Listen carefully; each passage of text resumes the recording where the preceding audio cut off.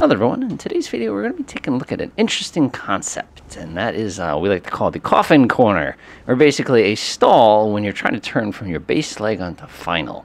Now this is an interesting situation because you basically are going to get yourself in a probably going to spin the airplane kind of mode without even realizing it. Let's go ahead and take a look. So we're sitting here in Gardner, Massachusetts. Uh, this is a Gardner Airport, and we're sitting here in a little Piper Warrior.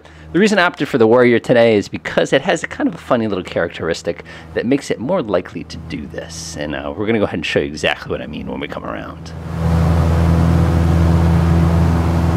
All right, it's 60 knots. Give it a tug, and we're airborne. Now we're using real world weather today, so if you're probably wondering why those clouds look so imposing, it's because they are really, really imposing. We couldn't go flying today because of these interesting little clouds.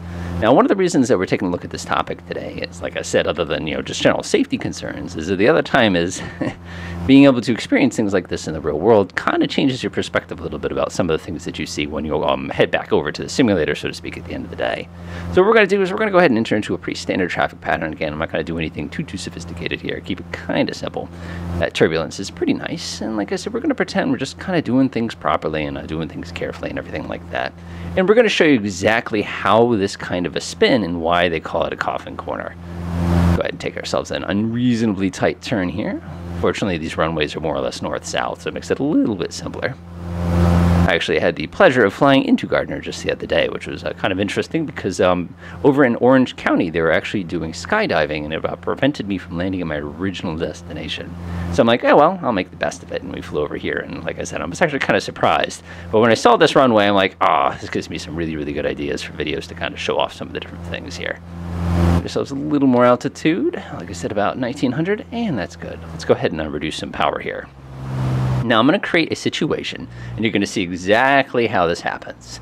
So what I've done is I got myself real close to the end of the runway there. I'm looking down at that 3.6. I'm about at my traffic pattern altitude. I'm looking at a pretty good speed. I'll go ahead and um, pull the throttle back. Go ahead and pop that first click of flaps in right away. I like the flaps on the Warrior because it's just a giant bar in the floor. Keeping an eye out. I'm like, ah, oh, I'm just a little close to the runway, but it's not going to interfere with my plans too much here. Keep going. Oh, got a little bit of a wind there. Nothing too, too bad. Going to get close to my 70 knots that I need to approach at. Technically, the book says 67. Let's go ahead and take my left turn here. And we'll just kind of keep flying. Again, nothing too, too crazy. Bring us around real easily. And let me look at the window and try to evaluate.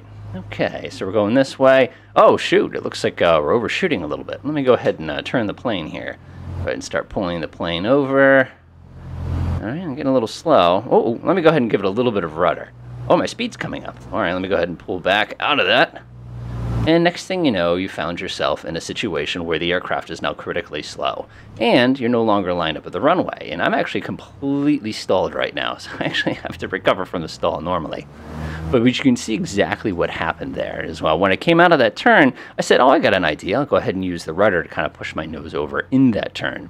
Uh, when I did that, of course, uh, the nose dropped a little bit.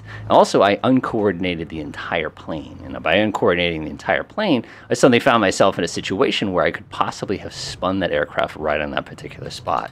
Uh, fortunately, even though I'd run out of energy, I was still able to power out of it at the last second. If we try this with a bigger plane, things go a little differently. Alright, so now we're in a Beech 36. This is a little bit heavier of a plane. It's going to be a little less forgiving than the Warrior is. And I've set myself up in basically the exact same scenario I had just a few moments ago. So just like before, I'll go ahead and reduce power. I'm going to go ahead and pop down that uh, gear lever because we are retractable in this one. Kind of get the process going. I'm just going to kind of look out the window again, doing what I normally do. Nothing too, too crazy, nothing too, too excessive here. Just kind of flying the plane. I feel like we're getting a little slow. Go ahead and give it a little bit of power. Let's go ahead and take that turn again, at this point, now we've gotten the plane very dirty. The plane is uh, getting a little on the slow side. We're looking out that window, kind of planning our approach. Oh, well, maybe we want to come out just a little bit wider here. Again, looking at my speed, looking at my speed. Oh, geez, I better turn right now. So I'm going to go ahead and now push that rudder in a little bit. Oh, my gosh! And there we have the coffin corner. So as you can see, uh, because uh, we had that lighter airplane with the first one, uh, we had no difficulty at all. But you could see with that second one that because I tried to use the rudder and take the aircraft out of coordination, the moment that the plane had run out of energy, it had set me into a death spin and a death stall and a death crash. Um, it does not take much. And I did not exaggerate that. I actually lost control of the airplane during that time so that you can see just how dangerous that is. So something to be watching out for. Again, your rudders are there to help coordinate your turns and not necessarily that a helping line yet for landing. Enjoy.